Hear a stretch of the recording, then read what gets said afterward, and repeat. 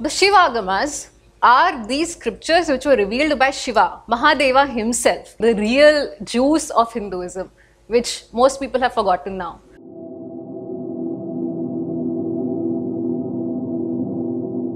Uh, so thanks, a big thanks to Rahul ji and everyone at Srijan Foundation for inviting me here to give this talk. And my today's talk is on the Shivagamas. Um, and before I go ahead with the talk, I just wanted to mention that you know everything I know about Shivagamas, whatever I know, I've learned it from my guru, His Holiness Paramahamsa Nithyananda Swamiji.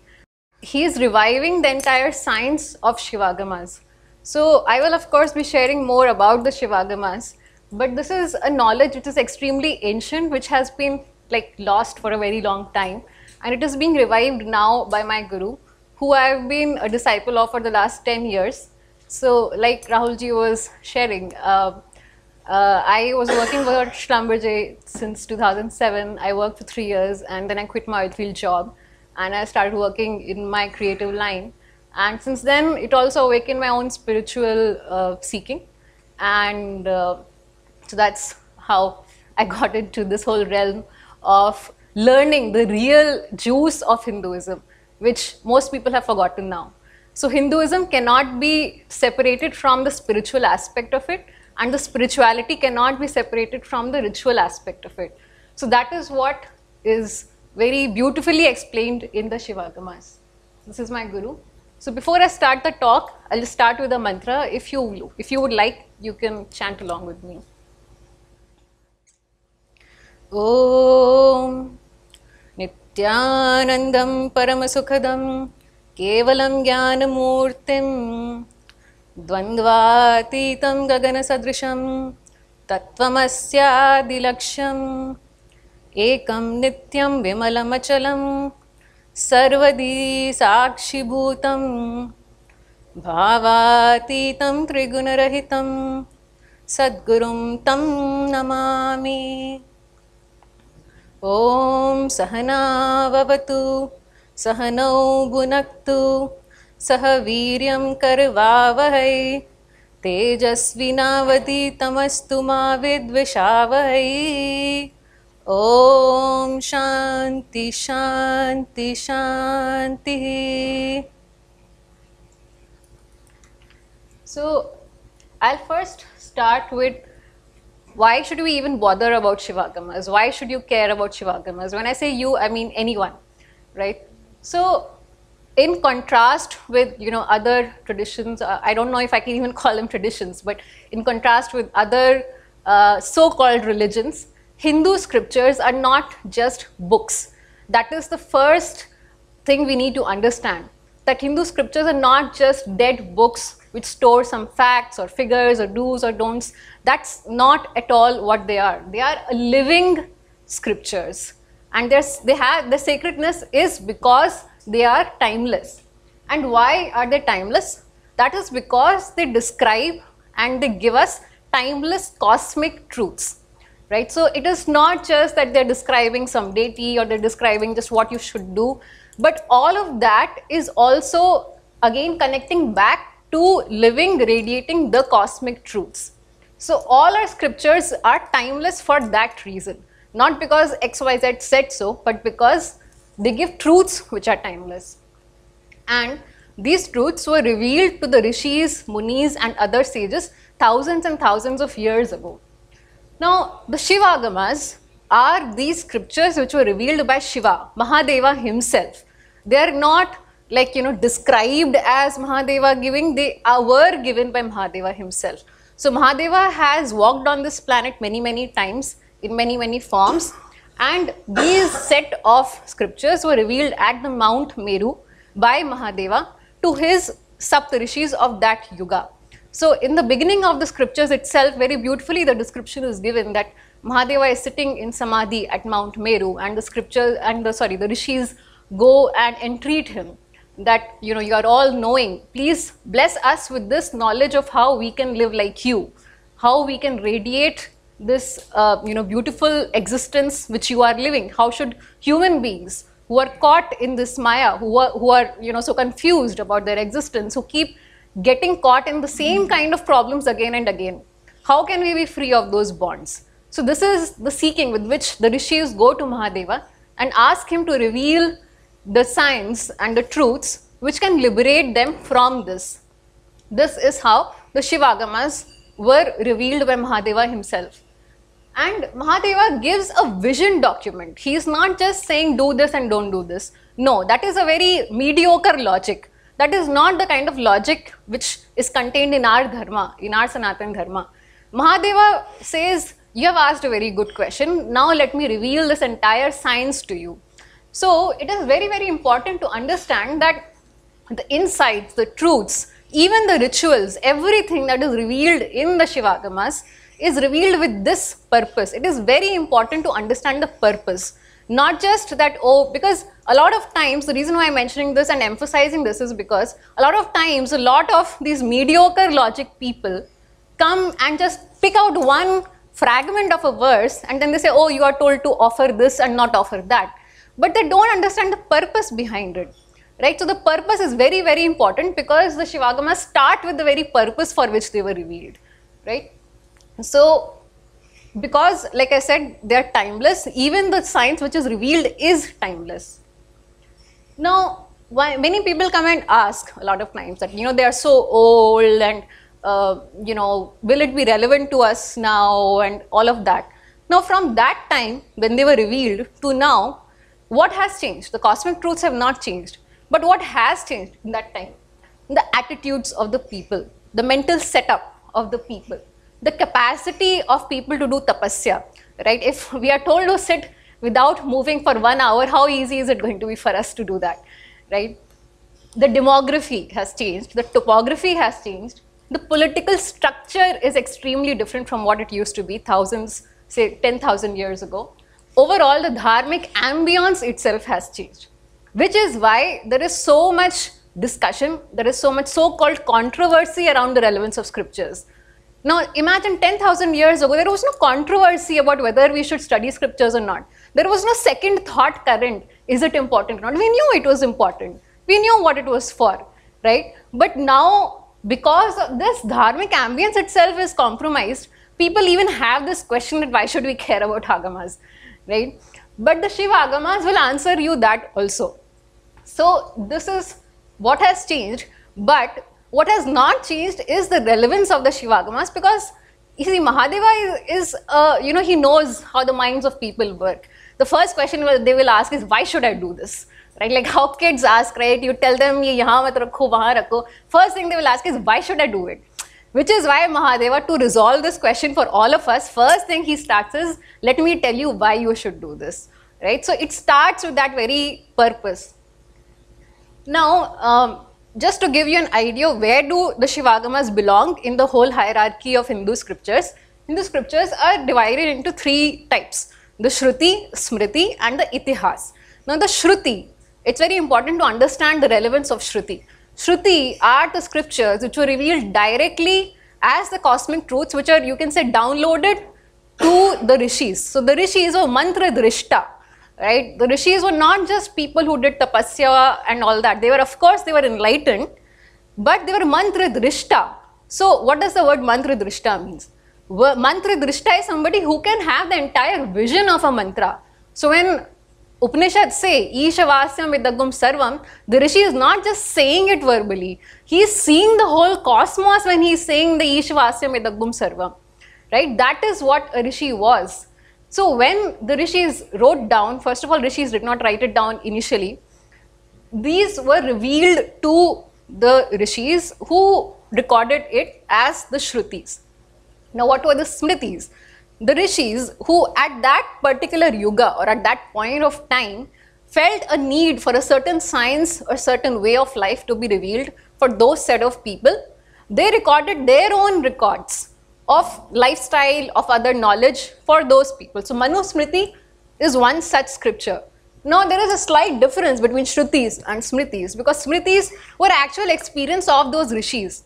It's not like it is not relevant because their records are also relevant. I'll come to why.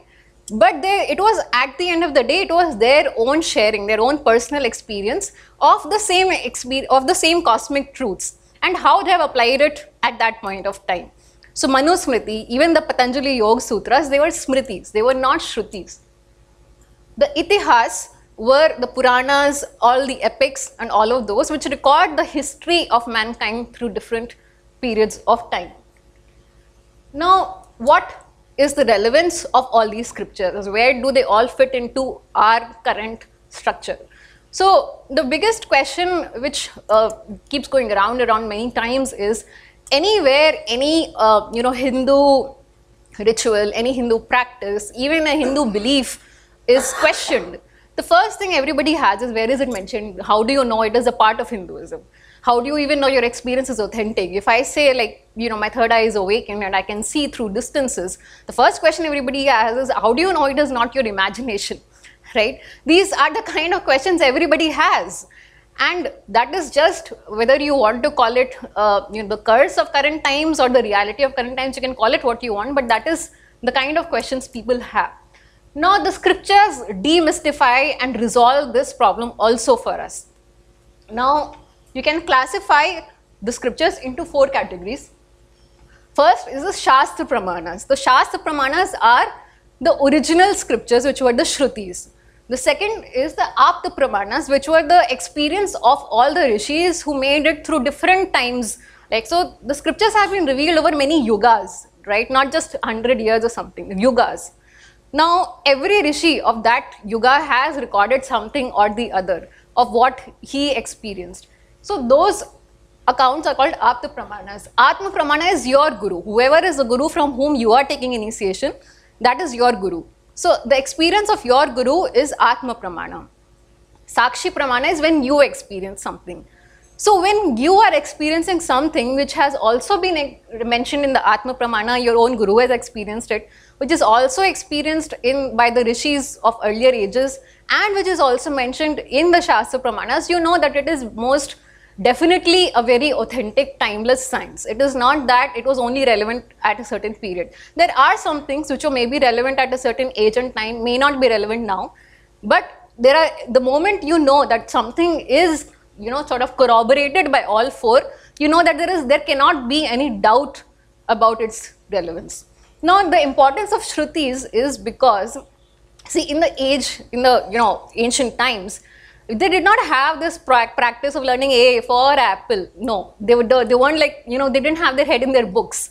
So they didn't have like hundreds of files and folders and documents. They didn't use to the education system itself was not for that purpose of making files and folders and books, right? The entire education was only by listening, and the transmission of truths was only by listening because they were pre preparing enlightened beings. They were not preparing preparing like you know, clerks, right? The entire Vedic parampara was with the emphasis on listening. It was not ki I am telling you the verse, you write it down. No, writing down the book will get enlightened. You will not get enlightened. You have to listen. You have to internalize. You have to like you know think about it. Then you have to apply it. If you're not listening, the whole science is lost. What is the point if you're not going to listen only, right? So Shruti was very very important, and because in the ancient, ancient times, the rishis and you know the young students, they were such experts in listening that the moment something was uh, you know given to them, some mantra was given to them, they used to be able to memorize entire shastras from end to end. They didn't have to record it anywhere. It was verbatim. The next generation, the next generation, the next generation would be able to repeat it. And this is not just something I'm saying. If you actually uh, I'll of course be sharing more later, but if you actually see the agamas, in the beginning of every agama, it is mentioned who is asking for that, uh, you know, scripture to be revealed, which uh, rishi is revealing it or which rishi is describing it. And then he also gives the entire lineage of gurus how it was transmitted from one generation to the other to the other to the other. And they all know. It's not like you know one there will be one gap somewhere that okay after this i don't remember who gave the science to whom. No they will know the entire. If there were 28 gurus before him they will know the entire 28 and the 28 will repeat it exactly the same way. So this is how the agamas were revealed which is why a lot of times we are not able to really uh, you know give the exact dated uh, you know, the exact date line of when they were revealed because for a very, very long time there was no recording of it. nobody wrote down. And people in those times used to live for like hundreds of years sometimes. They were yoga purushas. So you can't really fix their age as, you know, they must have been only 70, so you approximate it like that. It can't be done like that. Which is why we can't fix an exact timeline of when these scriptures were revealed. So now I'll come to what is Agam. Agam is that which is revealed, right? It was it is not that which is documented, it is not that which is shared, it is that which is revealed by Mahadeva himself. Right now, um, Agam is a word which uh, you know is used in many places. Now, just before we go ahead, I just want to clarify one thing. The word is in Sanskrit. So anywhere else in English, whichever spelling you use can be considered right or wrong based on who's reading it. But the original word, unless you write it in Sanskrit, everything else is, uh, you know, detail. So all the English spellings, you can think it's right, it's wrong, it's your choice. But the original, I'll only go by what is in Sanskrit. And even my pronunciation, part of it is North Indian style, whatever I've learned myself. And whatever I've learned from my guru will be South Indian style. So it'll be a mix and match of both. Uh, so please accept it the way I'm teaching it for now. Now, agams are, or agamas, whichever way you want to call it, are uh, of three categories the Shivagamas, the Vishnu Agamas, and the Shakt Agamas. Now, I will only be talking about Shivagamas. I am a Shaivite, and so far I have only learned the Shivagamas. So, I would only want to talk about that which I have learned. Right? Now, the Shivagamas were all the Agamas which were revealed by Mahadeva himself. Now, we come to how were the Agamas revealed. Now, the Kamika Agama, which is considered to be one of the most important Agamas, describes this. So, Mahadeva has five faces. Now, his five faces, when he is giving the knowledge, are the Sadyojata, Vamdeva, Aghora, Tadpurusha, and Ishana. Now, all these five phases further had five phases each. So, they were eventually 25. Now, from each phase of Mahadeva, the Laukika, Vedika, Adhyatmika, Atm, Atimarga and Mantra Agamas were revealed. So these are not names, these are categories, right? All these, I'm just giving this description so you understand the length, breadth and depth of the Agamas. They are not just one or two documents. You will realize that more and more as I go forward. They are an ocean, right? So Laukik, Vedic, Adhyatmik, Atimarg, Mantra are five categories of agamas which were revealed from each of the five faces. Now Kamika agama gives total number of agamas as 25 but there are other additional agamas revealed from some of the faces. This is also mentioned. Now I'll give a little bit of detail about which are the agamas. Now the agamas which were revealed from the Sadyojata phase are the Bhoot Tantra. And example is the Kaul Tantra. So this is an example of that. Vamadeva revealed the Vam Tantra. The number in the bracket is what has been mentioned as the variations. Now, I don't want to translate that any further, I'm just telling you as it is mentioned in the Agama. The Aghora phase revealed the Bhairav Tantra. The Tad Purusha revealed the Garud Tantra and the Ishana, which is uh, the most important, the Ishana face of Mahadeva is the face which gives enlightenment. So the Ishana revealed two types of agamas, the Rudra Bheda and the Shiva Bheda. The Rudra Bheda were 18 and Shiva Bheda were 10. Now the Shiva Bheda, the names are mentioned. Yoga, Chintya, Karan, Ajit, Dipta, Deepta, Sukshma, sorry, Sukshma, Sahasra, Ashumam and Kamika. Out of this, the Kamika is considered to be the most important. So I wanted to go over this so you understand the, the number of agamas and exactly how much detail they were revealed. Now, I want to describe a little bit about the numbering in agamas because this is something which is very unique. The numbering which we follow uh, in our normal arithmetic system ends at trillion, right? Beyond that, we normally don't count. Like million, billion, trillion, uske aage nahi aata, right? So now in the agamas, there is a different word for every, uh, you know, every power of 10, literally. So from 0 to 1 to 10, 100,000, it goes on till 100 million trillion. It is 100 million trillions is called parardh.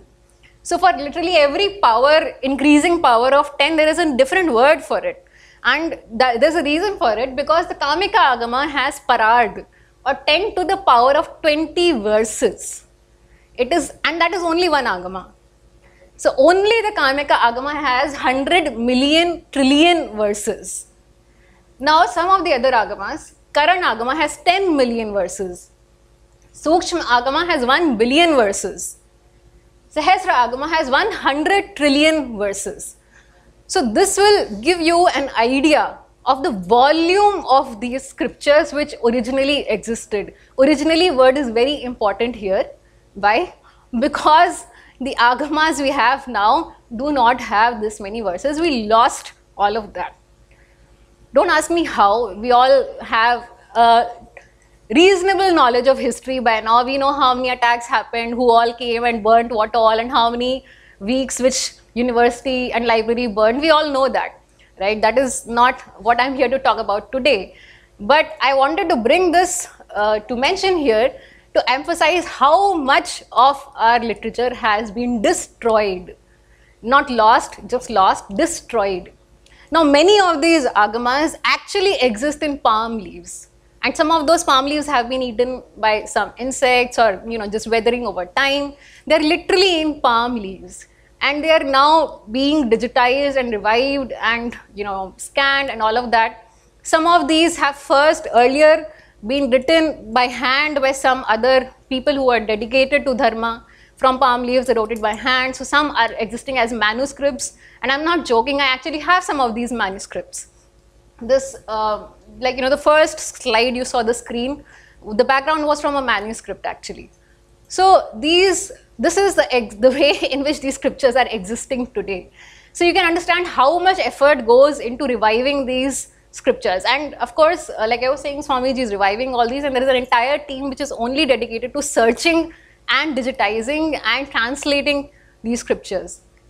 So now I come to actually what is contained in the Agamas. I've built up a lot of uh, you know background on what is the Agamas and how they have been transmitted and all of that. Now what is contained in the Agamas? Now again, before I go ahead and explain what is there and what is not there, the purpose of everything in the Agamas was to realize the cosmic truth which is Shivoham. You are Sadashiva. I am Sadashiva. Right? Now every Agama has four types of content. One is the Kriya Pada. Kriya Pada are all the rituals, all the practices, everything uh, like uh, you know pran pratishtha, like you know offering water, offering achamaniyam, uh, doing the mudras, all of those things, everything which is can be contained broadly in the category of ritual or spiritual process, that is the Kriya Pada. So Kriya Pada, this classification is actually mentioned in the Kamika Agama itself and at the end of every chapter it says which Pada it belongs to. Now Pada by the way is not step, it is part. So all four, four is, it's not like you go step by step, not at all. These are four parts and all four have to be practiced.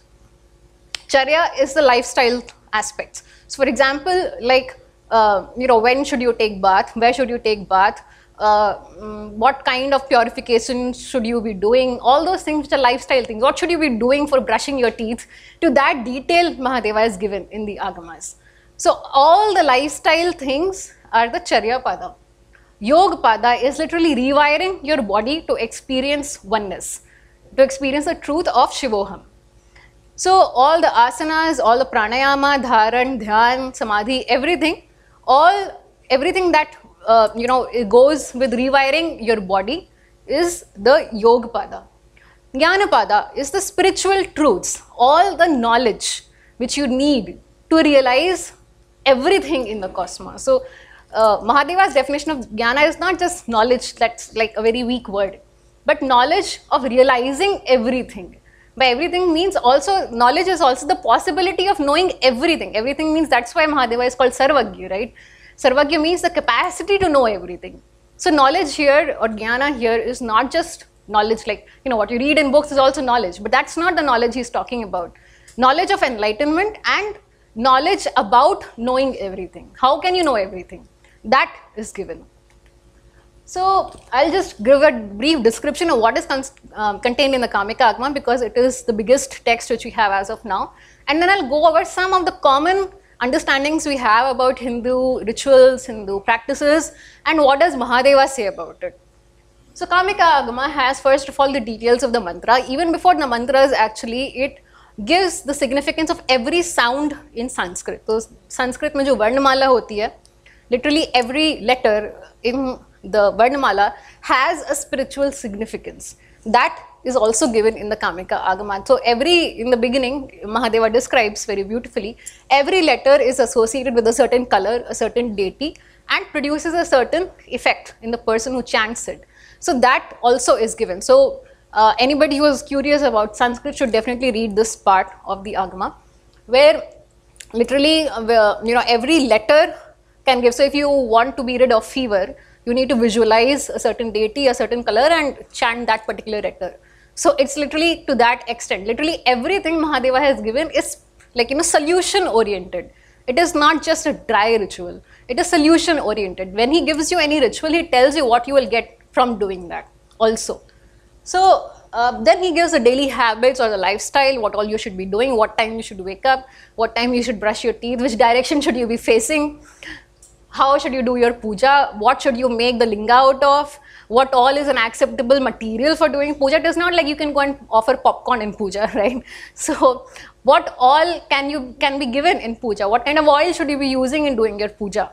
To that detail, he has given instruction. He has not said do this, don't do that. No, he has given a whole classification. This is best. If you don't have this, use this. If you don't have this also, then use this. And then this last thing is the most preferable and Mahadeva does not like this right? So after all, you're offering puja to Mahadeva. You should be offering what Mahadeva likes, right? Not what you like.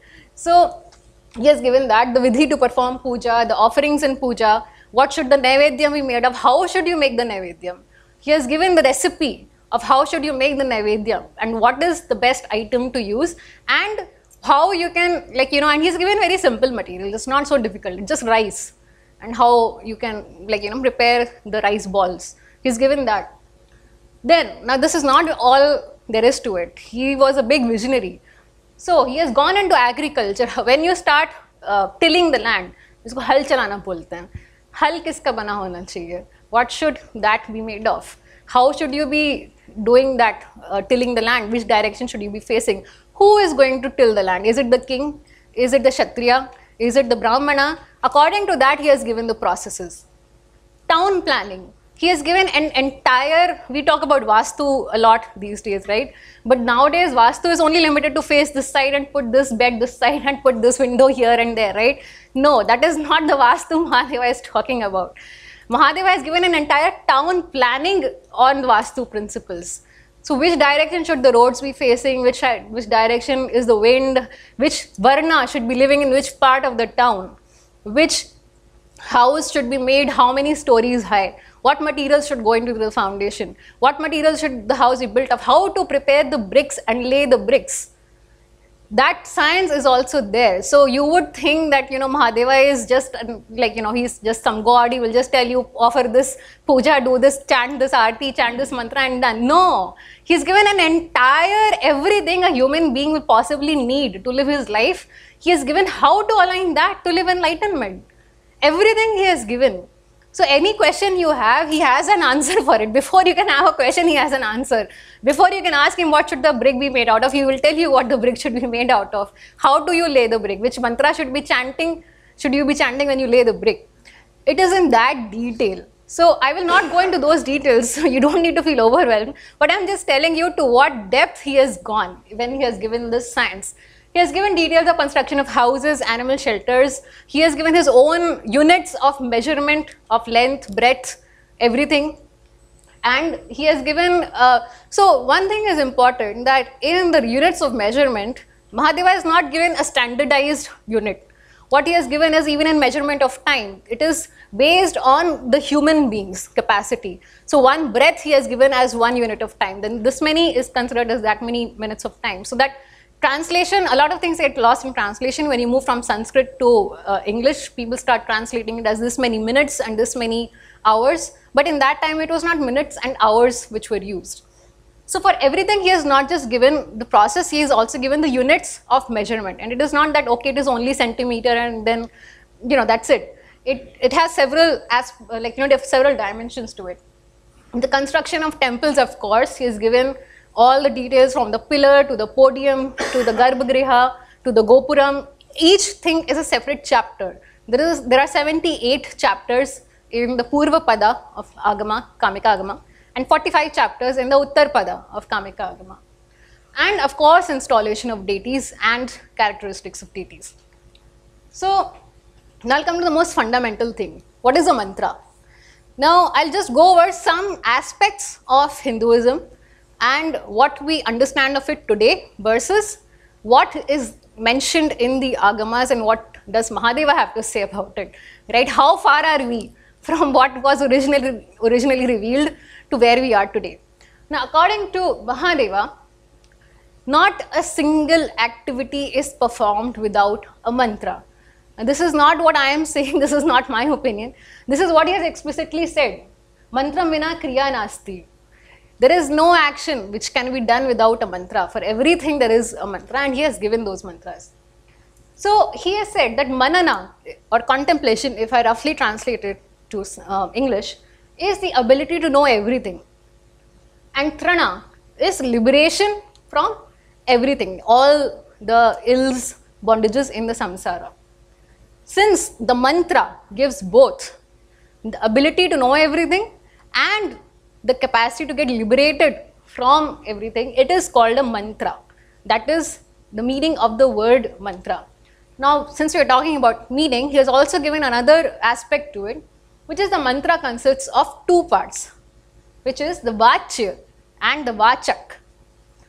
Now, the form of the word is the vachak, what you are pronouncing, what you are saying. So, the in the Sanskrit it actually says the vakya. So, it is like whatever you literally chanting is that, it's a vachak. And the form of uh, the deeper meaning, whatever you are supposed to realize from that mantra, whatever you're supposed to experience from chanting that mantra is called the vachya. Now, any mantra always has both these parts. It is not that you will just chant, it is not just literal chanting alone.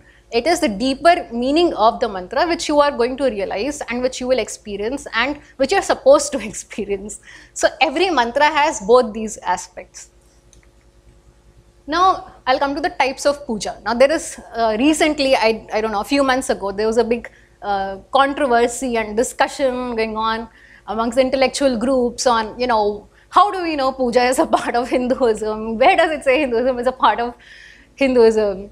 So, all these people need to go and read the Kamika Agama. I'm not even saying read all the Agamas, just read the Kamika Agama.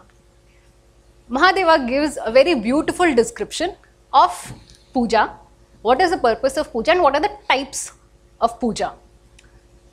Puja is of two types. One is the Atmarth puja and the second is the Pararth puja. Now, whatever you know as your personal deity, the Shivalinga you keep as your deity, or if you have some other deity which you have, uh, which you worship to, which you pray to every day, that is the Atmarth puja. Pararth puja is the puja you offer to the deity for the public in the temple. So the process is different and the same people cannot do both the pujas. So in the sense that for doing the puja in the temples, you need a certain kind of knowledge and a certain initiation. Without that, you cannot just go and start doing the puja in the temple. You can't do that. Oh, I do this puja every day. I do puja to Mahadeva every day in my house. So yeah, it's okay. I'll go and do it in the temple also. It, it doesn't, it's not like that. You need to have a certain training or certain knowledge and initiation uh, into the Shiva Diksha before you can do puja in the temples. This is what Mahadeva has said. Whether we are following it now or not is another question. But this is what Mahadeva wanted. This is what he has said should be done for the society to prosper. So the Atmartha Puja gives the benefits to the person who is doing the worship. Now the Atmartha Puja is very, he has very clearly said, it is for fulfillment of your own desires. He has not said, come and do puja to me so I can feel great. No, the purpose of puja was the fulfillment of your desires, what you want. That is why he has used the word swarth. Now, swarth here is not translated as selfishness. It is a Sanskrit word, and Sanskrit words cannot be translated in this black and white form. So the swarth here means swa plus arth for your own purpose. So whatever you want to manifest in your life, for that you do Atmarth Puja. Um, then we come to the offering of Naivedyam. So Mahadeva has given very like you know explicit instructions on how to prepare Naivedyam and all of that. But before he goes into all of that, what has he mentioned? That you, the devotion and the love with which you prepare the Naivedyam is the most important thing. This is what he has said. He has said you should use the resources which are available to you and whatever you prepare in the house, any food you have, any flowers you have, anything, first offer it to Mahadeva and then use it for your own consumption. Now, this used to be a very common practice till I think one generation ago. So, uh, like till one generation ago, I've seen my grandparents and my parents, like, you know, like, wo hota tha na, ghar mein kuch bhi banta tha, pehle Bhagwan ko khilenge, right? So, first we will offer it as, uh, you know, to the deities and then we will have the prasad as the whole house right? Now of course the, those traditions are dying out. We did not used to know why we do that and nobody um, it's just how things are that uh, because people did not know the relevance of it those traditions started dying out. But before a few generations before people did not have this question that why should we offer to the deity first right? That is how we did things. That whatever we prepare first we go and offer it to the bhagwan because you know he is the most important part of our lives we first offer the best we have to the best we have in life and then we all share and eat together. Now Mahadeva has said um, in the next verse, uh, he is mentioned that whatever you offer to Mahadeva will multiply in your life. This is what he has said. And whatever you don't offer will not multiply in your life. So he has given a very simple reasoning for it. Because why? Mahadeva is the ultimate. Whatever you offer to the ultimate is only going to grow and prosper. So he has mentioned this as a way to bring prosperity to the whole country, to the whole society. He has not said that you should do it because I am very great and I need to feel very great, so I want you to offer food to me. No, that is not the context of offering something at the puja. Whatever you offer at the feet of Bhagwan, that is going to start multiplying in your life. And if imagine as a whole society, if people start offering to Mahadeva and then consuming it, how much more good can happen. And he see is he going to eat? Like is he literally going to come and sit and eat? Is he hungry? That's is that why he's asking you to offer to him? Obviously not. Mahadeva is completion itself. He is the whole cosmos. He doesn't need your food right? If he wants food he will manifest it. He's asking you to offer so he can bless you back. That is why there is a certain importance for these rituals. It is for you. It is for your own growth for your own closeness developing your own closeness with the deity. So a lot of times we have this idea that you know devotion is either there or it is not there. But that is not how it works. We can apply the same knowledge also, right, to our uh, education. Either it is there or it is not there. The more you learn economics, the more you will become better at economics. The more time you spend on, I'm just taking a random subject, but you know, whatever thing you spend a lot of time and energy on, that part of you will grow. It's the same thing with devotion the more time you spend in rituals which help you connect with Bhagwan, more that part of you will grow. So that is the science behind puja. Now I come to a very important part of it, part of especially the Shaivite tradition, which is the Bhasma. Now a lot of us know that Bhasma is very sacred to Shaivites and it is very well loved by Shaivites. But a lot of times what we don't know is Mahadeva has given Bhasma as a very important part of relieving you from all physical diseases and many other mental problems, all types of problems. So, he has described the bhasma snana. Now, the bhasma is prepared from, can you guess what?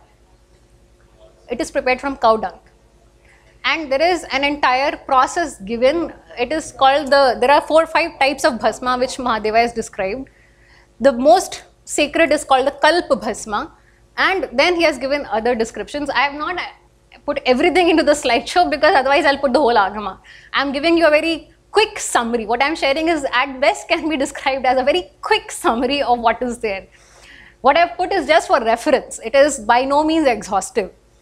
So what I'm speaking now is not in the slides. So Mahadeva has given the process of preparing all these four or five types of bhasma and he has given those in the order of preference.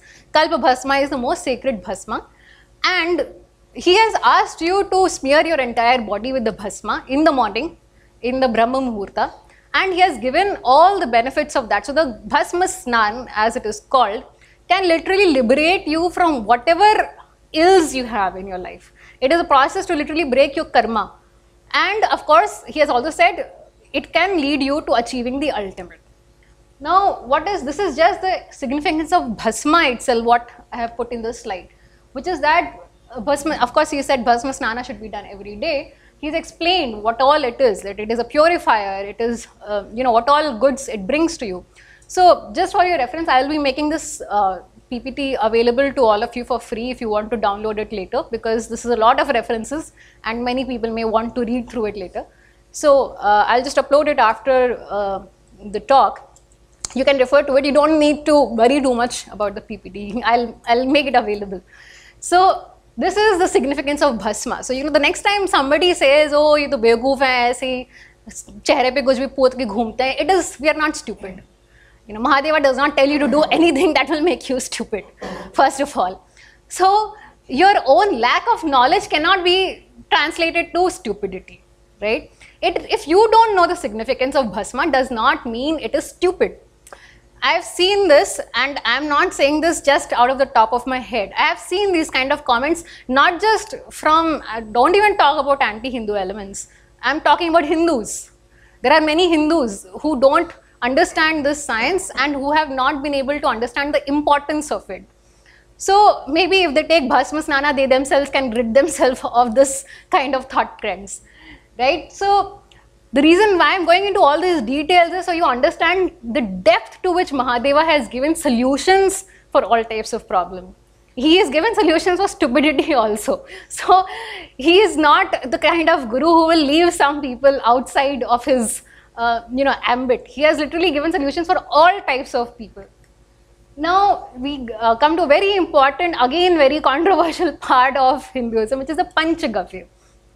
Panchagavya are the five substances you obtain from a cow. Now, because uh, you know you say the word cow, and there are people ready to like you know shake you from top to down. That is the reason why I wanted to mention it. Uh, I don't know how many of you are aware, there was a story a uh, few years ago, I think three years ago, there was this guy who had cancer. And all he did, all medicines failed, doctors gave him like, you know, a few months at best and he started preparing his funeral. Uh, he wanted to micromanage his funeral because he did not have any hope to live. And then he went to some Ayurvedic place and they gave him Panchagavya. And he has described that he did not even have any sense of taste left. That is the extent to which he had cancer. So I didn't even know what I was having. I just kept on having it because I didn't have any options anyway. And he actually got healed from that cancer. And this is not just something I'm, uh, you know, sharing just randomly. You can see there is a book called uh, the How a Cow Saved My Life. Some, it's called something like that. The Holy Cancer, How a Cow Saved My Life. Just search for How a Cow Saved My Life in Amazon. You'll find his book. It's still available. Yeah, he has created. Uh, uh, I think an NGO called the Healing Vaidya or some dot .org, something like that. So if you search for those, you will find that story. It's a very real, actual story. Now, what is a Panchagavya? Now, Panchagavya is not just five substances taken and mixed together. That is not what it is. First of all, what goes into Panchagavya is milk, curd, ghee, cow urine and cow dung.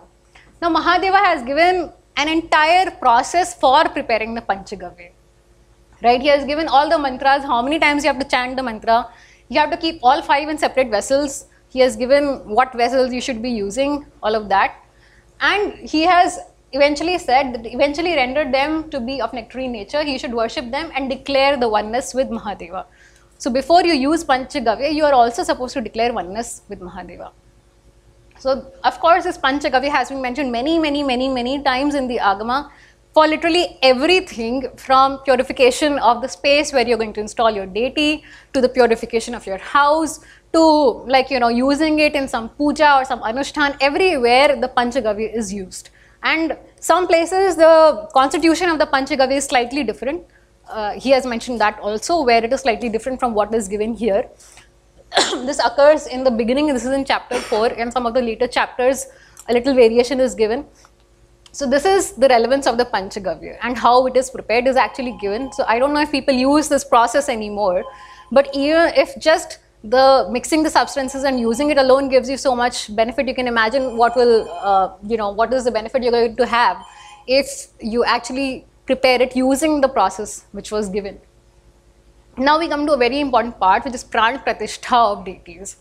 Now this is some process which most people talk about but not a lot is very commonly understood. I'm, i mean of course there are people who do know this but this knowledge is very very important. Why? Because pran pratishtha of deities was not just the science of putting a deity there. It is not like you just put it, pick it up here and put it there. No, that is not how installation of deities is done in our temples there is an entire, this is a 22 step process. And if I really start giving you all the details, I'll have to, the whole Uttarpada of Kamika Agama gives only that. The process for Pran Pratishtha to every deity. And several chapters in the Purvapada also give just this. So it's a very long process. It is the process of literally making that deity living and breathing. It is not just stone. It is not just wood. If you are using wood, he does mention wood. So he does mention metal also. So it is not just uh, you know stone or metal. It is literally once you do pran pratishtha, the deity cannot be moved. It has to stay there. It is now that deity's home. It is not your home now. It is that deity's home. So whichever place you install the deity, it is that deity's living, breathing space. The deity has a breathing space and the space in which that deity breathes is the temple right which is why in if you actually destroy the deity you cannot do worship to that deity again and uh, many of you must be knowing many of the invaders earlier they used to destroy a lot of our deities because then you can't do puja to that deity unless you have again you know done some other spiritual processes which they won't let you do so this process literally made that deity into living breathing who can be an its own independent intelligence. So it was literally Bhagwan made available to you in a way in which you can relate with him. That is why the temple culture was so important because the temple was not just one place where some stone is there. Why would you go to the temple? Stone is everywhere, right? Temple has its place. This is a very common logic which people have. Why do we have to worship in the temple? God is everywhere. Yeah, God is everywhere. Can you feel Him everywhere? Are you able to relate with Him on a personal basis everywhere? Because you are not, that is why we have a temple. if you were already able to do that, you would not have temples. Because you're not able to do that. That is, to, for you to realize God is everywhere, you need to come to a place which enables you to do that. Yes, true. First of all, God word is not uh, original to Hinduism. So God is not the correct word, but because it's popularly used, I'm using that word. Bhagwan is everywhere, but because you're not able to realize that Bhagwan is everywhere, you need to go to a place where Bhagwan is literally sitting to make you realize that.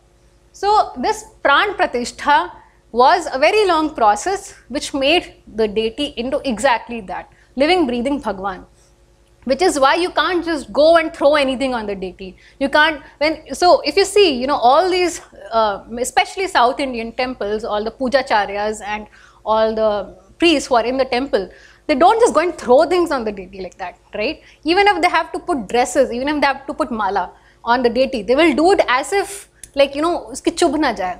Unke haath mein na lag jaye. When they put bangles on the deities on the devi uh, deity they don't just like you know push it like that. No if you're doing it on a person will you push the bangle on them like that? You won't. Because they know okay it's a living deity right? And of course many people have had many profound spiritual experiences in most of these temples. It is because of this. So this is the whole significance of the process of pran pratishtha, which a lot of times people just bypass. So I, this is just for your knowledge. These are all the forms of Mahadeva, Vignesha, which is Ganesha, and Shakti, whose pran pratishtha process is described in the Agamas. I'm not going to read out all. Uh, if you want, you can just refer to it. it. This whole process is given in the Kamika Agama. Now, the mudras. Why am I talking about mudras? Now, the mudras were a very important part of our daily rituals, which have been lost almost entirely. So except for maybe the temple priests who do the mudras when doing some of the pujas and stuff, nowadays in our daily practice, we don't really see people doing any of the mudras, right? Now Mahadeva has given mudras for certain processes and he has explained where you need to use them. This is from the Rauravagama. Now we have moved out of Kamika to Rauravagama. Uh, so all these mudras are described and what mudra should be used where. So I think the only mudra a lot of times we use is the Namaskar mudra. But apart from that there are many and the Linga mudra which is described is for establishing total identity between the form of Shiva and the sadhaka. So similarly many other mudras are given which should be used when you are performing any kind of worship or even chanting some mantras all these uh, mudras are given for that. So now I'm coming to yoga. Now the reason why I really wanted to talk about yoga is because most people think that the first time anybody gave the knowledge of yoga was Patanjali who revealed the Yoga Sutras. Of course, Patanjali's Yoga Sutras are a treatise and they are really, really important. They share a lot of knowledge, but that was not the first time the science of yoga was revealed. Science of yoga was revealed many, many thousands of years ago by Mahadeva himself, who is the Adi Yogi who is the first yogi. Now, yoga, as for Mahadeva, I'll explain many, many important things which are very commonly misunderstood about yoga. But yoga, as for Mahadeva, is to realize yourself as Mahadeva. It is not to feel healthy. It is not a replacement for your gym. It is not a replacement for your morning walk. It is not because, oh, I'm feeling lazy today, so I'll do yoga. No. The purpose of yoga was so you live breathe, exist as, Mahayo, as Mahadeva. Now, he has given six steps. We normally use Ashtanga Yoga, but Mahadeva has given Shashtanga Yoga. Pratyahara, Dhyan, Pranayama, Dharan, uh, sorry, Pratyahara, Dhyan, Pranayama, Dharan, Tark and Samadhi. These are the six parts of yoga which Mahadeva has given in the Raurav Agama. So, he has spoken about yoga in several Agamas. This is not the only Agama, but this is what he has explained in the Raurav Agama, where he has elaborated specifically on the dharan. And he has explained so in this particular agama he has given different methods in different agamas.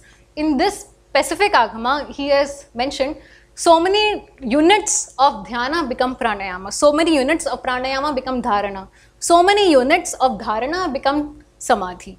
So this is the process he has given in this. So he has explained what he means by unit like to what capacity you are able to hold that space, right? It's a very lengthy process which I won't go into. Now we come to the Sarvagyan Agama. He has explained yoga again in this Agama. Now, how should you practice yoga? First of all, before he goes into how should you practice yoga, he says even before you start practicing yoga, you should be established in dhyan. Meditation, first of all, the word meditation is a later coinage. The word meditation was not used in Hinduism, the word was dhyan. And what was Dhyan for? Dhyan was bringing your awareness on the form of Mahadeva and realizing yourself as Mahadeva. Contemplation is again a weak word. I don't have an exact word in English for it. But Dhyan, if you understand, bring awareness is a very close, rough translation. Even before you start yoga, the sadhak should be experienced in Dhyan. That is what Mahadeva is given. So, like Mahadeva has not said if you want, you can do meditation along with yoga. No, even before you think of doing yoga, you first become established in dhyan. Means first become established in Mahadeva. Awareness on Mahadeva as Mahadeva. That is what he has said. Then he has said, how should you practice yoga? Now he has said, mana mano samo kritva, dukha, sukha dukhe same tatha. Whether you are abused or you are honored, whether you are happy or you are unhappy, you should still be doing yoga. You should continue with your practice because he knew that we human beings go through all this process. Sometimes we feel very happy, sometimes we don't feel happy, sometimes we feel we are being praised, sometimes we feel we are being abused.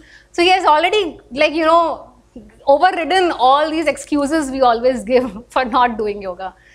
In all these conditions, Harsham Bhayam Vishadam Cha, Satyam Jaya Yogam Abhyaset means the true seeker always continues, keeps up with his practice of yoga, whether you are happy, whether you're depressed, Vishad means depressed.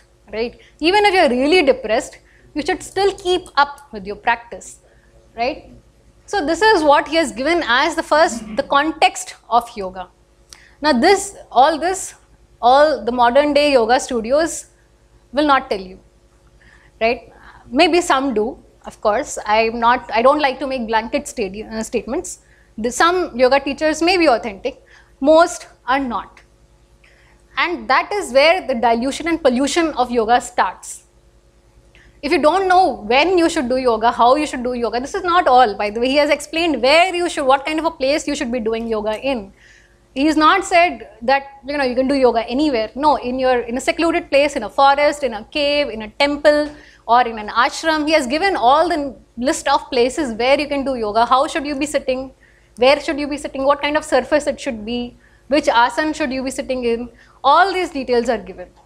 Now he has given, he has mentioned some of the asanas, popular asanas, which uh, you know you can use. He has mentioned Padmak, Swastik, Ardhapeet, Ardhachandra, Sarvat, Sarvato Bhadra, and so forth. So he has given certain asanas in which you should be sitting.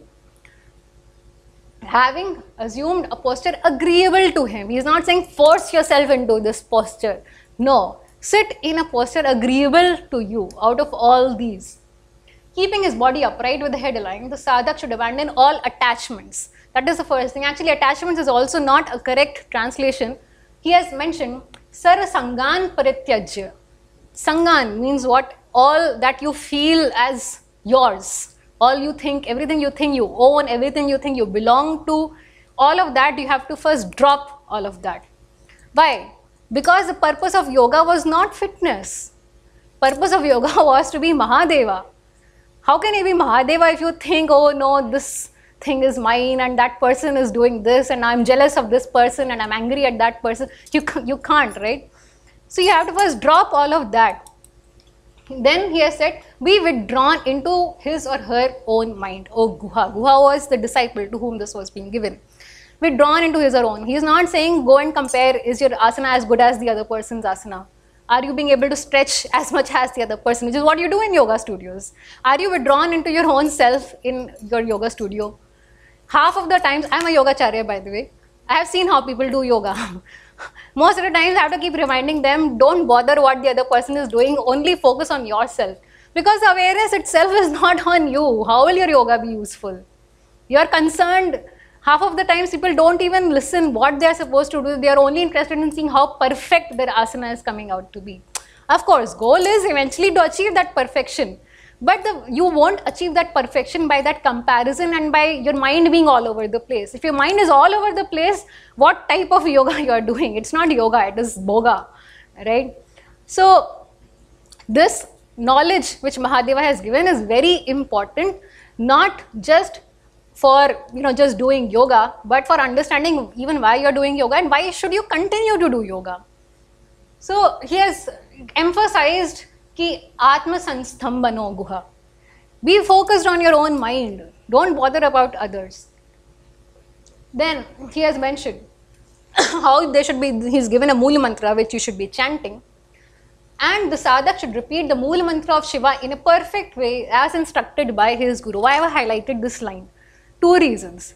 Mantras are supposed to be chanted while doing yoga. Yoga is not a spiritual process, it is very much a part of Hinduism. And as I already explained in the chapter on mantras, nothing is to be done without mantra. So, mantras are supposed to be chanted while doing yoga. I have attended a Yogacharya training. I am a Yogacharya and I know that many Yogacharyas, thankfully, I did not do such a training, but in many places, the yoga teachers themselves say it is okay, it is optional. If you want, you can chant the mantra. Otherwise, you can, you know, do whatever you want. If you don't feel connected, you need not know. That is not how yoga is supposed to be done. As instructed by his guru. Means what? Guru is supposed to instruct you on which mantra is to be chanted. It does not say as instructed by Acharya, by the way. Acharya is different, Guru is different. Guru is an enlightened being. Acharya is someone who has a, an entire end-to-end knowledge of that subject. All, of course, all these descriptions of who is Acharya, who is Guru is also given. Uh, there is a separate Tantra, Kularnava Tantra, in which an entire chapter is dedicated to this. I won't go into that too much right now. But the very fact that he has mentioned in a perfect way as instructed by his guru means the guru is supposed to initiate you and tell you how to chant the mantra. There are very few gurus who are doing that right now. So mantra is supposed to be chanted. Guru is supposed to initiate you into the mantra and you are supposed to chant the mantra while doing yoga as given by your guru. Right? So I picked out some verses. There are, of course, there is an entire chapter on this. I'm not going to, don't worry, I won't go through the whole thing. I'm just highlighting some key points which are very commonly misunderstood. Having equalized the prana, apana, having enabled the breath to flow through within the sushumna, having arrested the workings of in-breath and out-breath, the well-skilled sadhak should deeply meditate on Lord Shiva. So it is not that you can meditate on whichever god you want. It is especially not it is not meant for gods of other religions. You have to meditate on mahadeva. If it is mentioned in some other agamas that you can meditate on your own aradhya i'm okay with that. I'm not vetoing that if there is some specific instruction in some other literature so there are other literatures there is the Hathyog Pradipika there is Gherand uh, Samhita where they have given specific instructions but it so happens those are also from the Shaiv Sampradaya now in this it is at least in the agamas it says you have to meditate on the form of Lord Shiva. So it is not that oh you can meditate meditate on your own form. It is not that you can meditate on your best friend, right? It is not that. He is very specifically mentioned you have to remember the deity. Through the continued practice of this, the sadhaka experiences unfailing and inseparable union, union with the luminous form. So that is what happens when you meditate on Lord Shiva. And The reason I am going on harping on this is because all this has been literally torn out of, divorced from the current practice of yoga. What we know as yoga today is literally one tenth of what was instructed as yoga by the Adi Yogi, right? Now, this is just the concluding part. I just wanted to emphasize on the role which the third eye plays in this entire science. It is very clearly mentioned how you can awaken the third eye in the agamas. It is clearly mentioned a guru whose third eye is awakened, who has already become one with the supreme, can initiate you into third eye awakening, and third eye awakening is the gateway to the higher powers.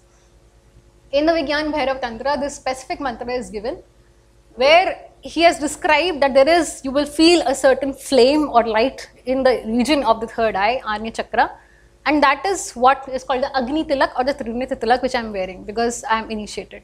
So this is also an authentic science. Many people have questions about this also that it's a third eye fiction or is it just some hocus pocus? It is not. It is very much a living science which many people are experiencing and it is very much available only upon initiation. It is not that, of course, if you work on your third eye, your awareness will increase, your ability to uh, you know be on in a higher plane of consciousness will increase. But to manifest the true powers of third eye you need to be initiated. And this is mentioned that who can initiate you. All those details are given.